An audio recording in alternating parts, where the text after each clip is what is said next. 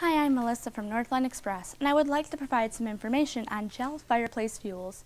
We've had a lot of questions about gel fuel, how to use them, safety, and how they compare to wood or gas fuels.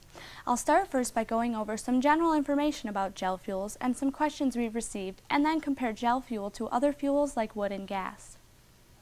Because gel fuel is an alcohol-based gel, it doesn't put out byproducts like wood, paper, and other materials do when they burn.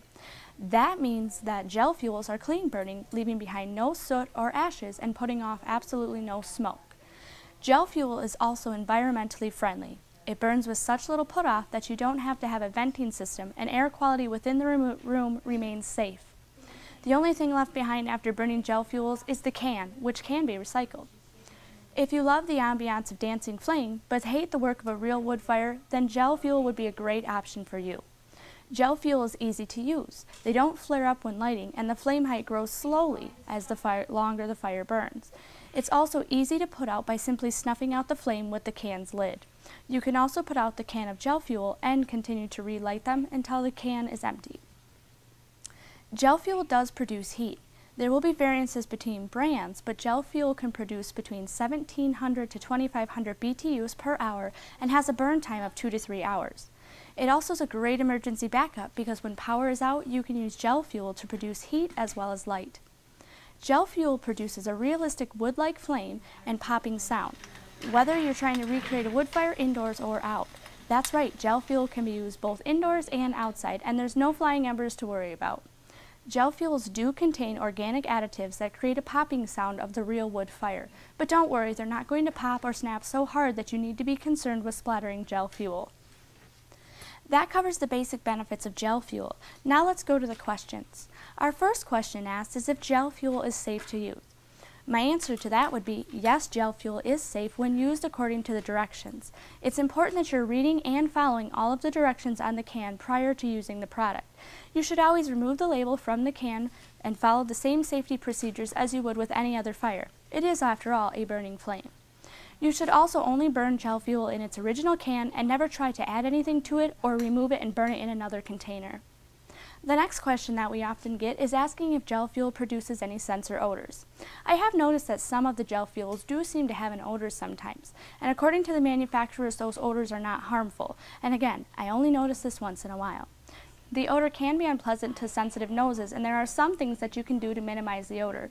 First, always make sure that you're removing the label from the can before burning it. Also, shaking the can very well will also help. As the can sits, the materials separate over time, and the better is mixed, the better it's going to burn.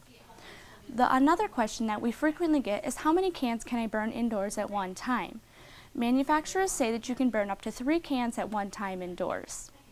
Now let's take a moment to compare gel fuel to both wood and gas fires. In comparison to a wood fire, gel fuel will burn with a comparable flame and a realistic popping sound and crackling sound.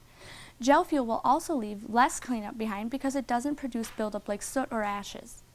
Gel fuel also requires less manual labor. The only lifting will be done when you bring your box in from delivery, unlike firewood, which you have to continuously bring in and stack. Another major plus over wood is there's no venting required, so you don't have to buy and install a pricey venting system like you would have to with a wood stove. You can also start and stop a gel fire a lot faster than you can a wood fire. When you compare gel fuel to a gas fire, you'll notice the first main benefit in gel fuel's favor is that you don't have to have a gas line providing a constant fuel source. Gel fuel will also provide the authentic sounds of a wood fire, where a gas fire will only replicate the flame, not the sound of the gas or of a wood flame. Gas fires also need to be vented, where gel fuel does not. If you're using propane, your flame is going to be blue rather than the orange flame put off by an authentic wood fire. The lack of venting system and fuel line makes it a great idea for more places around your home and patio as well. Gel fuel also burns cleaner than gas, making it a less pollutant fuel source. The final consideration is that you don't have to worry about filling your home with dangerous fumes should the gas line leak or be left on. If a can of gel fuel is left open unlit, it will just evaporate harmlessly over time. I hope you found this information helpful, but if you still have questions about gel fuel, please feel free to give our customer service reps a call at 866-667-8454. They're always happy to help.